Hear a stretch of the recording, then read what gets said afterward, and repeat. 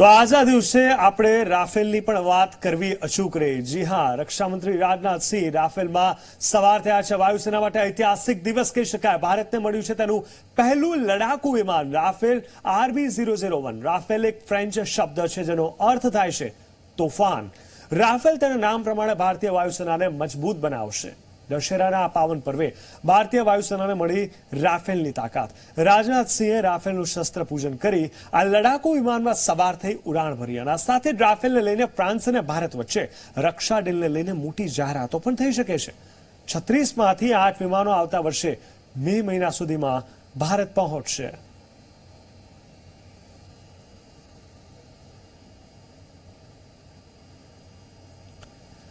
તો લડાકુ વિમાન કહેવાય છે રાફેલ. રક્ષામંત્રી રાજનાથસિંહ રાફેલમાં સવાર થયા. ભારતને આઠ વિમાનની ડિલિવરી મળી છે.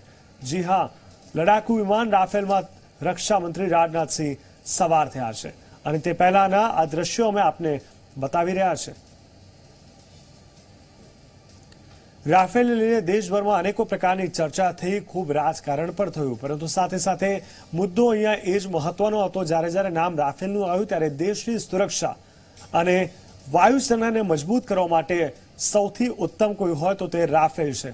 અને પાકિસ્તાન, જે ક્યાંક ને ક્યાંક આડકતરી રીતે ભારતને નડી રહ્યો છે, તેની પાસે રાફેલના મુકાબલા માટે કોઈ પ્લેન જ નથી. એટલે કહી શકાય કે જે રીતે રાફેલની હવે આઠ ડિલિવરીઓ થવાની છે, જે સોદા થયા છે છત્રીસ વિમાનના. તેને લઈને હવે કહી શકાય કે ભારત ધીરે ધીરે આગળ વધી રહ્યું છે અને વાયુસેનાની તાકાતમાં રાફેલ અનેક ગણો વધારો કરશે, તેમાં કોઈ બેમત નથી.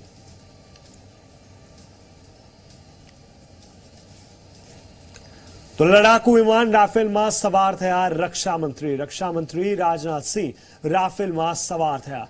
અને તે પહેલાના દ્રશ્યો અમે આપને બતાવી રહ્યા છે. ભારતને આઠ વિમાનની ડિલિવરી મળી છે.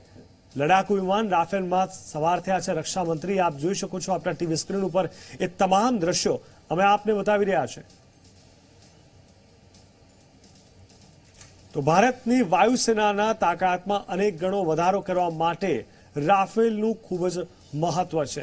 અને રાફેલની આઠ ડિલિવરી થવા જઈ રહી છે. હાલ સમાચારમાં બસ અત્યારે આટલું જ દેશ પ્રદેશ અને રાજ્યના તમામ મહત્વપૂર્ણ સમાચાર માટે આપ જોતા રહો ઝી ચોવીસ કલાક.